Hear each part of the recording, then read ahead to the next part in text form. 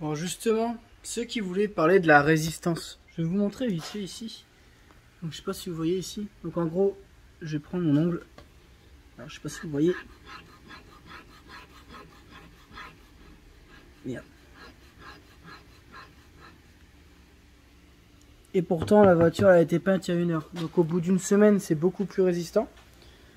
Mais quand je vous dis que pour le craquer, faut y aller, faut y aller. Hein. Moi, ce que je fais, c'est que j'utilise soit une pince à épiler, soit euh, en fait je prends un cutter.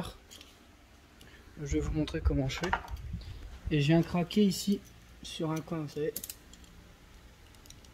Vous venez l'user comme ça. Et ensuite, vous allez venir le rouler. Une fois que la bulle d'air elle est créée, voilà, vous faites comme ça. J'essaie de vous montrer. Hop. Bon désolé, hein, je fume tout seul mais... Et après... Bon vous avez vu, tout s'en va en une seule fois. Et si vous mettez pas assez de couches, regardez ce que ça fait. Vous allez devoir tout retirer en frottant comme ça.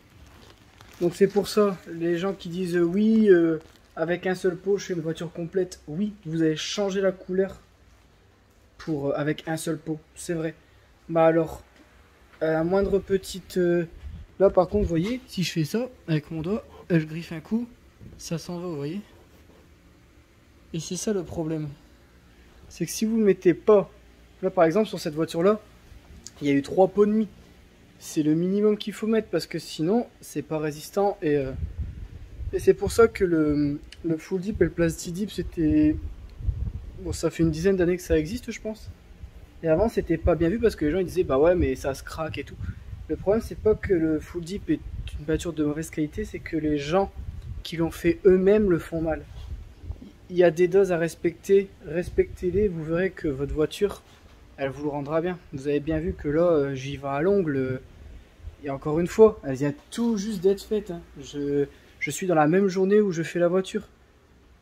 Donc, si vous venez à faire une voiture en full dip, respectez bien le nombre de pots qu'il vous faut. C'est très important. Si on vous dit de mettre sur une base noire, mettez sur une base noire, sinon la, couleur ressortira pas pareil. Si on vous dit une base blanche, mettez la base blanche. Moi j'ai fait pas mal de tests, hein, j'en ai fait des conneries. Hein.